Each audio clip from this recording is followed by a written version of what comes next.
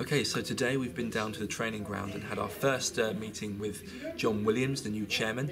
Uh, he's at, Williams has actually been at the club for about six months now, uh, but this is the first time that he's spoken on the record uh, to the press. And he get, had a lengthy sit down with uh, the local media, about an hour with the new chairman as he outlined his vision for the future uh, and also spoke at length uh, and within, within great detail about uh, the Albion's transfer business, uh, their plans for the summer, uh, his dealings with Tony Pulis, and much, much more. So make sure uh, you pick up the paper tomorrow uh, to read what he had to say. There'll also be uh, some more stuff from Williams uh, going into the Express and Star next week and over the course of the weekend um, because he really was quite detailed in what he told us. So make sure you stay tuned to our channels uh, for that development. Meanwhile, in today's paper, Gareth McAuley has put uh, this season's great run down to the fact that the club have bought players with a winning mentality.